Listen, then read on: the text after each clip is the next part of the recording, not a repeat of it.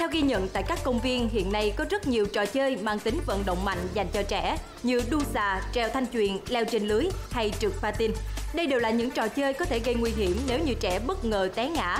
Thế nhưng nhiều phụ huynh đã để trẻ tự chơi một mình mà không có dụng cụ bảo hộ, cũng như không có sự giám sát của cha mẹ.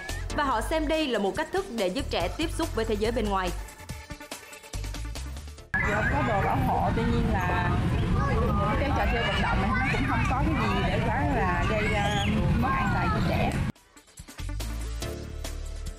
nhiên thực tế, theo các chuyên gia y tế, trẻ dưới 15 tuổi có hệ thống xương chưa dần hoàn thiện, nếu như bị tác động mạnh sẽ ảnh hưởng lâu dài đến sự phát triển sau này. Thứ nhất là có thể em bé nó hư mấy cái khớp hết. Tại vì nó không được bảo vệ nó té xuống, hư hết khớp hết. Còn nếu nó té cao thì chắc chắn là cái chấn thương đầu, là chấn thương gãy xương.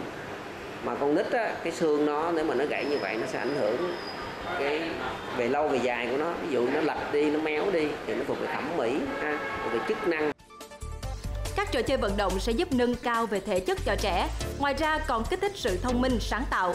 Tuy nhiên, quý vị khán giả không mua gì ở đâu nên lựa chọn những trò chơi phù hợp với thể trạng, sức khỏe của bé. Bên cạnh đó, phụ huynh cũng cần chú trọng việc trang bị đầy đủ các dụng cụ bảo hộ cần thiết để giúp cho trẻ tránh va chạm mạnh, đồng thời luôn quan tâm giám sát trẻ cẩn thận trong khi chơi.